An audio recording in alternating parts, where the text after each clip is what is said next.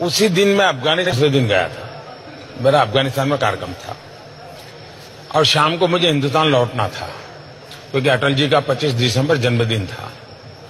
तो मैंने जन्मदिन की बधाई के लिए नवाज़ शरीफ को फ़ोन किया था, काबुल से। तो मैंने कहा, मियाँ साहब, कहाँ हो? तो उन्होंने कहा, मैं लाहौर हूँ। मैंने कहा, यार, कमाल हो। तुम रावलपिंडी रह, रहते नहीं हो लाहौर रहते हो। तो उन्होंने कहा कि मेरी भांजी की शादी है इसलिए मैं लाहौर आया हूँ और परिवार के सब लोग यहाँ पर है। तो ऐसे पूछा आप कहा? मैं कहा मैं काबुल हूँ और हिंदुस्तान जा रहा हूँ। तो बोले आप यहाँ होकर के जाइए। मैंने कहा भाई अब अचानक तो कैसे बनाऊँगा? नहीं बोले आप जाते ही बोले हम दस मिनट के लिए मिल लेंगे। आप आइए। मैंने हमारे विदेश मंत्री सुषमा जी को फ़ोन किया, काबुल से।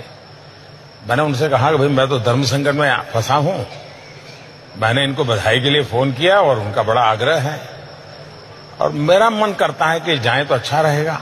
आपका क्या मत है? बोले मुझे अच्छा लगता है कि आप ही तय करो। बाद में मैंने हमारे एनएसए को एसपी जी को सबको बुलाया तो सब परेशान थे कि साहब।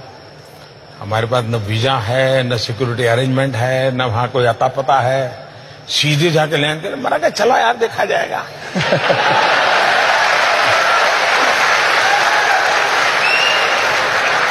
तो हम लाहौर गए, एक सदिच्छा से, क्योंकि वो मेरे यहाँ शपथ समारोह में आया तो मुझे लगता था शायद एक जेन्यून व्यक्ति हैं, कुछ कर पाएँगे। और मुझे सिर्फ़ कर्सी कॉल करना है तो हम करीब आए, वहाँ पहुँचे तो उनका अभी मेरे हेलीकॉप्टर में मेरे घर जाना होगा। नॉर्मली एक देश का मुखिया दूसरे देश में, किसी दूसरे के जहाज़ में नहीं बैठता है। सोचता है पचास बार। मैंने कहा, चलो यार। हम उनके हेलीकॉप्टर में बैठ गए।